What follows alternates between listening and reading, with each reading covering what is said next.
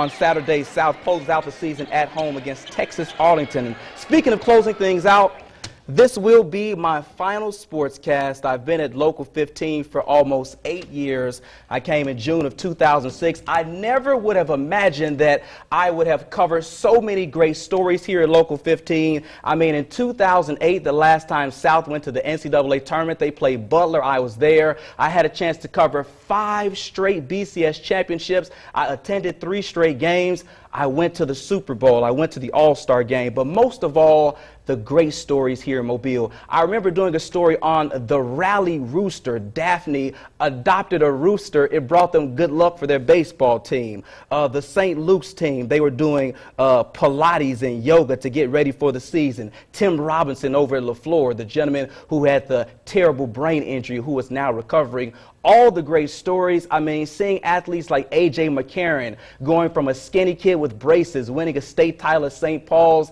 He played with Destin Hood and Ivan Matchett and, and uh, Mark Barron, who went on to the NFL. Nick Fairley, uh, he won a state basketball title and turned out to be an NFL first round draft pick. But I want to say thank you to all the coaches, all the fans, and most of all, all the viewers. These seven years, it truly has been a pleasure bringing you all the best local sports coverage here in Mobile. Next stop for me is Lynchburg, Virginia, and uh, I'm excited to that next move, for that next move. So, Greg and Derek, it's been a pleasure. Well said, my friend. I tell you what, uh, of, of all the people we know, I don't think anybody would, uh, would argue with the fact that you are the finest.